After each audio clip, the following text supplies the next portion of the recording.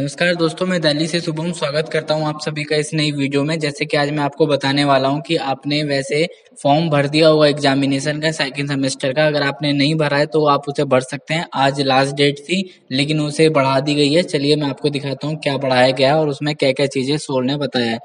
ठीक है गाइज़ तो मैं आपको वीडियो के लास्ट में ये भी बता दूँगा कि आपको किस तरीके से अपने उसको प्रिंट करना है। मुझे बहुत सारे मैसेज भी आ रहे थे और खासकर व्हाट्सएप पे पूछे भी जा रहे थे कि, सर, किस तरीके से हम अपने उसको प्रिंट करना है? लेकिन बहुत सिंपल है। तो हम आपको जाना है सबसे पहले ड्यू सोल आपको गूगल पे सर्च करना है।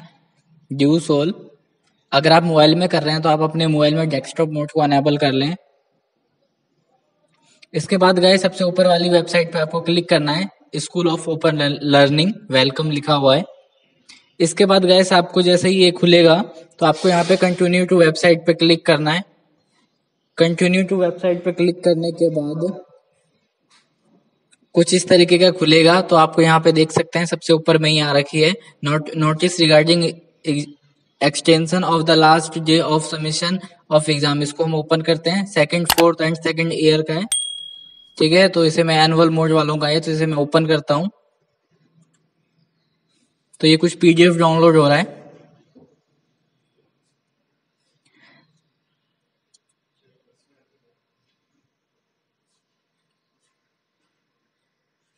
तो कुछ इस तरीके का हुआ है, लेकिन ये थोड़ा टेढ़ा है तो शायद टेढ़ा ही प्रिंट किया है इन लोगों ने। तो मैं इसे आपको पढ़ के समझा देता हूँ एक बार हिंदी में। इसमें बताया गया है कि जो हमारा जो सेकंड सेमेस्टर है और fourth semester annual second year जो सेकंड ईयर में है प्रमोट हुए हैं। फ़र्स्ट ईयर से सेकंड ईयर में अंडर ग्रेजुएट है कोर्स कर रहे हैं। जैसे B A honours political science और बी ए इंग्लिश और बी ए प्रोग्राम हो गया या बी कॉम हो गया तो उनकी जो डेट थी, वो आज की थी 22 तारीख की। उसे एक्सटेंड करके 26 जून 2021 सैटरडे तक कर दिया गया है, ठीक है? और इनके जो एग्ज़ाम होंगे, इन्हें जुलाई 2021 में देना पड़ेगा मतलब जुलाई में देना पड़ेगा।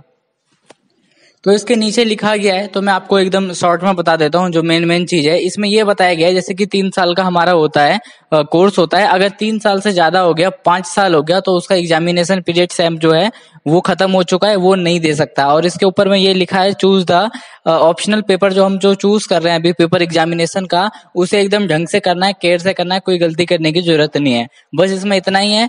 और चलो मैं आपको बता देता हूँ किस तरीके से प्रिंट करना है। ये तो मैंने आपको ये सारी चीज़ें बता दी, क्या नोटिस आया है और जो मेरे से पूछ रहे थे किस तरीके से प्रिंट करना है, वो मैं आपको बता देता हूँ। यहाँ पे आपको स्टूडेंट डैशबोर्ड से लॉगिन हो जाना है, या फिर आप स्टूडेंट लॉगिन से भी हो सकते हो बारकोड शो रोड नंबर डाल के लॉगिन करना है। फिर यहाँ पे आपको एक ऑप्शन मिलेगा, इस पर क्लिक करना है, जो फॉर्म आपने भरा था पहले, ये वही है। ठीक है? तो गाइस बस सिंपल है, इतना ज़्यादा सिंपल है, देखो, ये ओपन और प्रिंट पे आपको बस क्लिक करना है, ठीक है? आप इस प्रिंट पे क्लिक कर दो। मैंने इस प्रिंट पे क्लिक कर दिया। गैस यहाँ पे अब सेव का ऑप्शन आएगा। आप सेव कर लें। इस जगह कोई सेव का ऑप्शन आएगा आपके मोबाइल में, आप यहाँ से बस सिंपली सेव कर सकते हैं। और जिनके पास प्रिंटर है, वो प्रिंट पे क्लिक करें। प्रिंट पर क्लिक करने के बाद प्रिंट पे क्लिक कर देंगे। यहाँ पे ब्लू कलर का आइकन आएगा। आपका हो जाएगा।